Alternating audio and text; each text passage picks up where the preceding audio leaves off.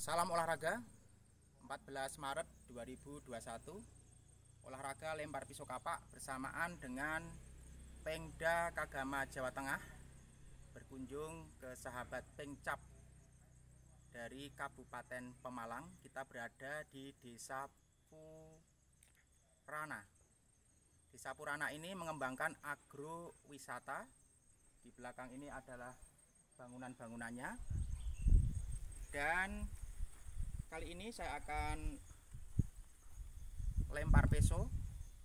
Sasarannya adalah tanah dan di sana sudah ada Arjuna yang menunggu. Tidak usah jauh-jauh. Persiapan ide lempar.